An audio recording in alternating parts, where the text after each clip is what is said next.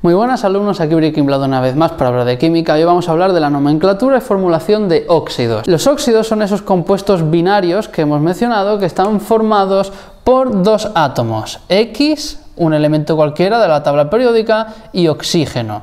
Y todo ello pues con sus distintos subíndices que vamos a nombrar como A y B. A y B van a ser números que van a estar colocados en la parte inferior. En los óxidos es muy importante tener claro que el oxígeno va siempre a la derecha y el estado de oxidación, su valencia en este caso sería menos 2. Esto es siempre igual en los óxidos. Vamos a poner ahora un par de ejemplos para que os quede un pelín más claro. Na 2O es un óxido, en este caso el subíndice A sería 2 y X sería sodio, pero a la derecha tenemos siempre oxígeno. BeO, esto sería otro óxido, directamente los dos subíndices aquí son 1 y pues Fe2 o 3, esto es otro óxido y tenemos aquí un 2 como subíndice y aquí un 3. O sea, estos son ejemplos de óxidos que podemos tener. E igual que en el caso de los hidruros tenemos dos tipos de nomenclaturas diferentes, la nomenclatura sistemática y la nomenclatura de stock.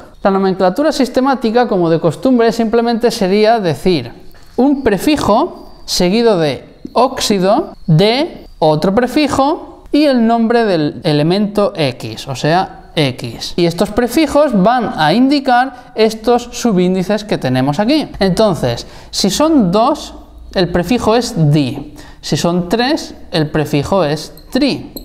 Si son cuatro, el prefijo es tetra y así en adelante. 5 sería penta, 6 hexa, 7 hepta. Entonces aquí colocaremos como prefijo el que corresponda a B y aquí colocaremos como prefijo el que corresponda a A. Ahora con los ejemplos lo veremos mucho más claro. Y la nomenclatura de stock pues es bastante simple también. Lo único que tenemos que hacer es colocar simplemente óxido de, seguido el nombre de este elemento y entre paréntesis el estado de oxidación de este elemento de aquí. Y entonces de esta manera tenemos descrita lo que sería la nomenclatura sistemática y stock de óxidos. Vamos a resolver ahora unos ejemplos para que os quede más claro. Bien, pues aquí tenemos la tabla que vamos a completar. Como veis tenemos fórmulas, nombres en sistemática y nombres en stock y nos toca rellenar lo que falta.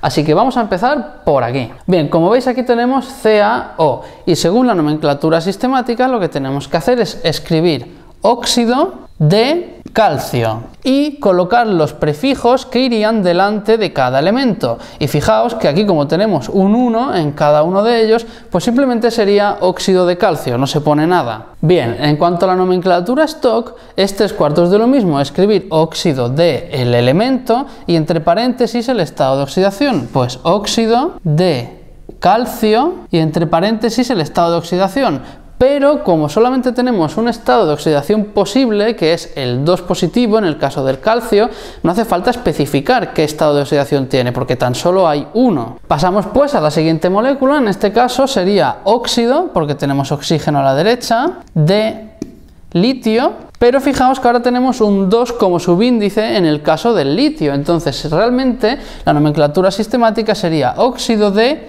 dilitio porque tenemos dos átomos de litio, el subíndice es 2. En la nomenclatura stock sería simplemente lo mismo, quitando los prefijos, óxido de litio y entre paréntesis vendría la valencia del litio, pero de nuevo si miramos en la tabla periódica veremos que el litio solamente tiene una valencia posible, así que no hace falta colocar nada ahí. Pasamos a completar esta fila, tenemos trióxido de dihierro, pues ya nos están dando además hasta los subíndices. El óxido significa oxígeno a la derecha, de hierro significa que a la izquierda tendremos hierro. Y ahora pues los prefijos nos van a decir los subíndices, trióxido será un 3 al lado del oxígeno y dihierro será un 2 al lado del hierro. Esta sería la fórmula que corresponde a este óxido. Ahora pasamos a la nomenclatura stock, que como veis sería quitar los prefijos y nos quedaría óxido de hierro y entre paréntesis tendríamos que colocar la valencia del hierro.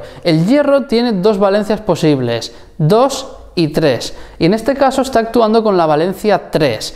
Si no sabéis cómo calcular las valencias, ahí arriba a la derecha tenéis el vídeo que os lleva a la explicación de cómo calcular las valencias o los estados de oxidación, que es lo mismo. Entonces ya sabiendo que el hierro tiene más de una valencia y que actúa con la 3, vamos a colocar aquí entre paréntesis 3 en números romanos. Pasamos a esta, óxido de níquel en sistemática, pues óxido es un oxígeno a la derecha, níquel es Ni a la izquierda, y como no nos dan ningún prefijo en ningún lado, pues aquí los subíndices van a ser 1. NiO sería la fórmula del óxido de níquel. Ahora pasamos a la nomenclatura stock. Sería exactamente lo mismo, óxido de níquel y entre paréntesis el estado de oxidación del níquel, porque si vamos a la tabla periódica veremos que el níquel tiene también dos valencias posibles, la 2 y la 3, entonces habrá que especificar cuál es. Y en este caso el níquel actúa con un estado de oxidación 2. De nuevo, arriba tenéis el cómo calcular ese estado de oxidación. Óxido de nitrógeno 1. Ya nos están diciendo que el nitrógeno actúa con valencia 1. Entonces, Óxido es un oxígeno a la derecha, de nitrógeno, pues el nitrógeno va a la izquierda, y ya sabemos, porque lo hemos dicho al principio, que el oxígeno actúa con valencia menos 2, y el nitrógeno se está diciendo que actúa con valencia más 1. Entonces, para que la molécula sea neutra, tendrá que haber dos átomos de nitrógeno para que haya dos positivos y dos negativos. Entonces, la estructura de esta molécula sería N2O y la nomenclatura sistemática sería óxido de di, porque tenemos un 2, nitrógeno. Óxido de manganeso 4. Vamos a escribir aquí entonces la fórmula oxígeno a la derecha y manganeso a la izquierda.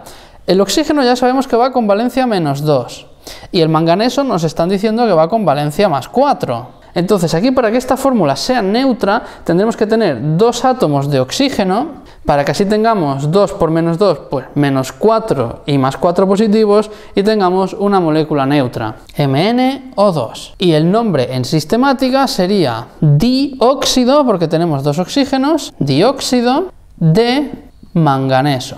Y esto sería todo en cuanto a la nomenclatura y formulación de óxidos. Como veis es bastante simple, no es nada complicado nombrar óxidos. Yo espero que os haya quedado claro el contenido de este vídeo. Si tenéis cualquier duda o cualquier sugerencia podéis ponérmela en comentarios o preguntarme a través de Twitter o Facebook. Nos vemos en el próximo vídeo y a disfrutar de la ciencia en su máximo esplendor.